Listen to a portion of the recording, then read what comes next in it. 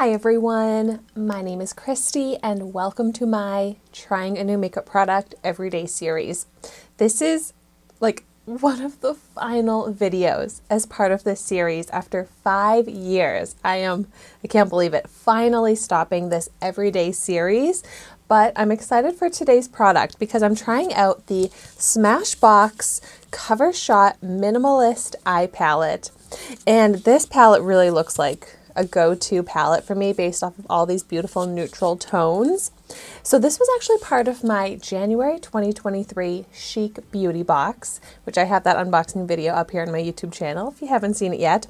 And some of the products that I got in that box, I realized were like old products, but this one here is still a current product. It retails for $32. You can still get this at Ulta, Sephora. It's cruelty free. And I'm really excited to play around with this because I really think this could be a new go-to travel type palette. It's a great travel size. Cool packaging with this like kind of holographic, I guess, um, cover. But then you open it up and it's a big mirror for this little palette. And you've got all of the neutral shades I feel like I could need. A good base shade, highlight shade, contouring type shades. So I'm very excited about this. What I don't understand is why they made the mirror sticker so hard to get off. But okay, I got it. And I am going to start out with a few swatches. I want to swatch this maybe highlight shade. Ooh, very pretty. Good mix of mattes and shimmers. Ooh, wow. These look very pigmented. Yeah. Yeah, these are nice. I feel like the shimmery shades have a bit of a silkier, more buttery texture than the mattes, which feel a little bit more chalky, but they still swatch nicely pigmented. And such a cohesive color scheme here. So here are how these swatches look. And so I am going to test these out with and without an eyeshadow primer.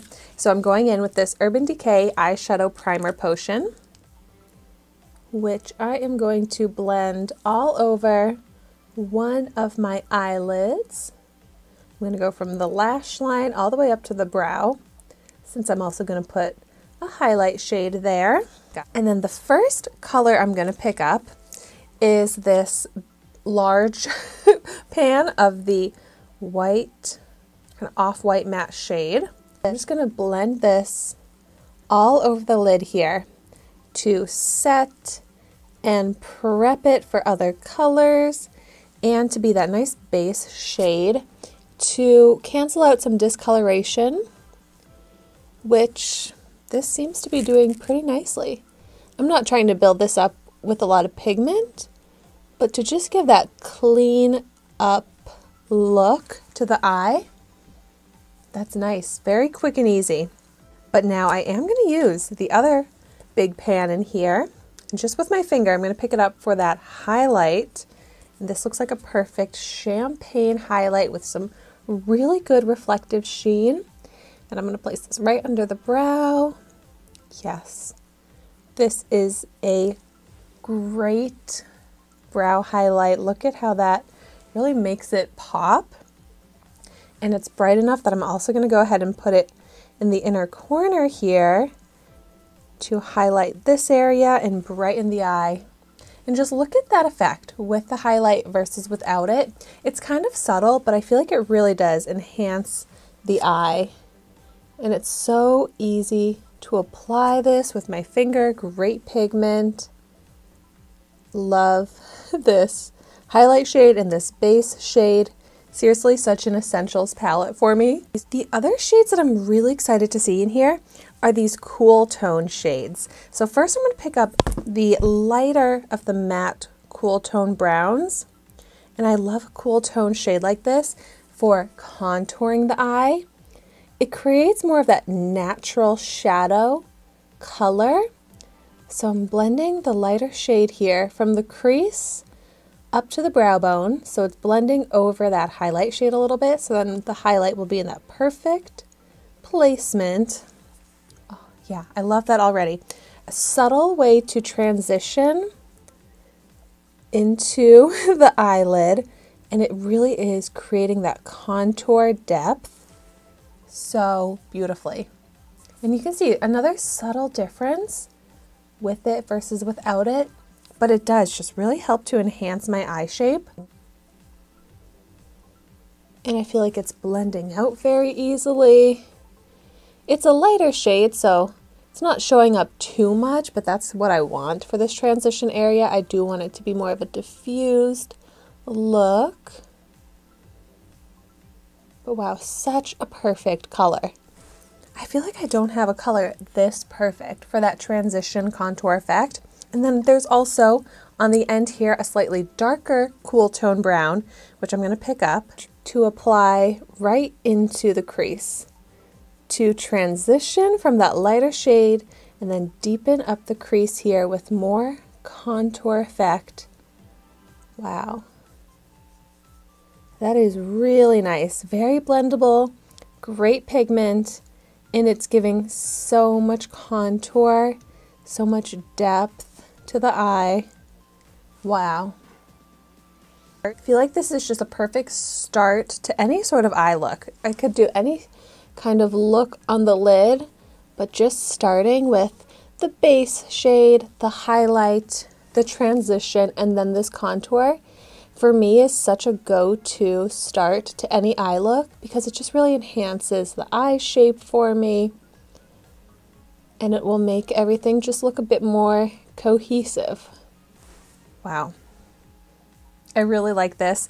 And so far I'm not noticing a difference with and without the primer. Everything is so easy to blend, good pigment. But let's move on to Another go-to shade for me is a darker brown. So I'm just to pick up a little bit because this is pretty dark. And I'm to put this in that outer V. Ooh, perfect. It is a little dark, so I'm to try and just pick up a little bit and really blend and diffuse it out. But this will help lift the eye and continue playing around to really enhance the eye shape.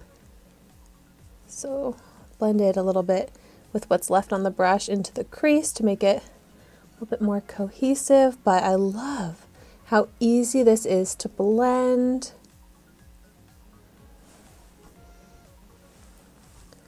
I'll have to clean up the under eye area a little bit from my blending technique, but I'm just loving how these colors go together. This, since it is pretty dark, is giving a pretty like smoky glam effect. I could skip such the dark shade in the outer corner, but I really do like the effect it has for the eye. You can see how this eye, I feel like just looks so much more lifted and like a different shape than this eye. But so yeah, just really picking up a light amount to blend in this outer corner. And even on this eye without the primer, it is looking pigmented, smooth to blend. Yeah, I feel like the eyes are looking completely the same with the primer versus without it.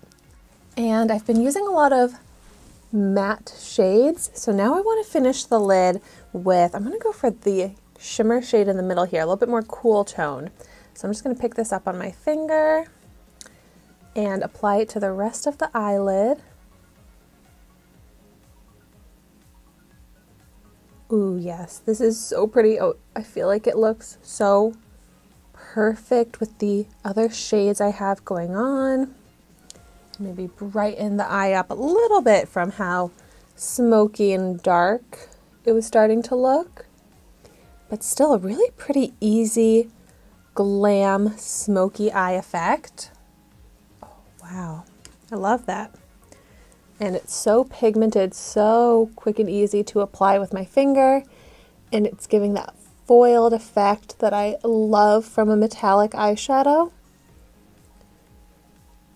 Yeah, these are just so easy to work with from the formula to how cohesive the colors are, even how it's laid out in the palette makes it easy to figure out the warm tones, the cool tones, the shades that are going to be like my go-tos. This palette is really performing how I hoped it would, and I am really loving it. And then the other thing that I like to do, I feel like I'm just like recreating one of my go-to eye looks, but I like to put a brown shimmer along the lower lash line. And I've got that right here in the middle. So on a smaller, little angled brush, I'm picking up the brown shimmer. And I'm gonna line the lower lash line with this. Ooh, this is such a pretty shade. I'm definitely gonna have to create an eyeshadow look where I put this shade on the lid but it has a really beautiful metallic finish, a nice copper brown color that really actually looks nice with this eyeshadow look. It doesn't close the eye. It helps make the eye, yeah, look more open by putting more of this lighter shimmery effect along the lash line. I feel like this is the type of eyeshadow look that a pair of false lashes would look perfect with. And so here is my finished eyeshadow look.